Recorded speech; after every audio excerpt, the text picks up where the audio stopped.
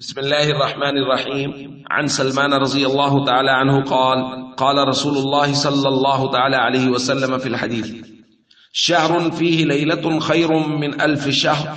شهر جعل الله صيامه فريضة وقيام ليله تطوعا. رواه البهقي نبی کریم صلی اللہ علیہ وسلم نے رمضان المبارک کی اہمیت اور فضیلت بیان کرتے ہوئے ارشاد فرمایا، رمضان ایسا مہینہ ہے جس میں ایک رات ہے جو ہزار مہینوں سے بہتر ہے۔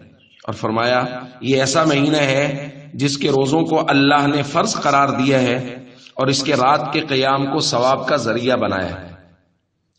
دوستو، رمضان المبارک کی فضیلت اور اہمیت کا بیان ہو رہا ہے۔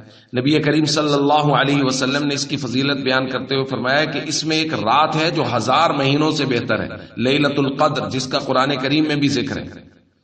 اور پھر حضور نے فرمایا کہ اس کے دن کے روزے تمہارے لیے فرض قرار دیے گئے ہیں۔ لہذا مسافر مریض اور وہ شخص جو بالکل روزے رکھنے کی طاقت نہ رکھتا ہو، جیسے ہمارے یہاں شوگر پیشنٹ ہے کچھ، جو دو تین گھنٹے، چار گھنٹے اگر کچھ نہ کھائیں، تو وہ بالکل مطلب بے جان ہو جاتے ہیں۔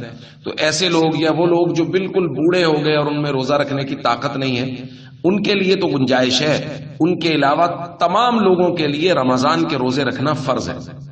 اور رات کا قیام ثواب کا ذریعہ بنایا ہے نماز تراوی حضور علیہ صلاحت وسلام نے فرمایا، علیکم بسنتی و سنت الخلفاء الراشدین المہدیین۔ تم پر میری سنت پر عمل کرنا لازم ہے، خلفاء راشدین کی سنت پر عمل کرنا لازم ہے۔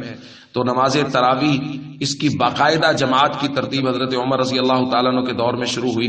اور صحابہ بہتر جانتے ہیں کہ نبی کریم صلی اللہ علیہ وسلم کا پسندیدہ عمل کیا تھا۔ جب صحابہ کرام نے یہ عمل شروع کیا تو امت کے لیے اس کو سنت موقع قرار دیا حضور علیہ صلاحت والسلام کے اس فرمان کی روشنی میں۔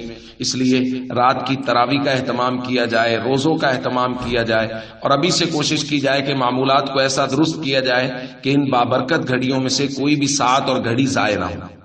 السلام علیکم ورحمۃ اللہ وبرکاتہ۔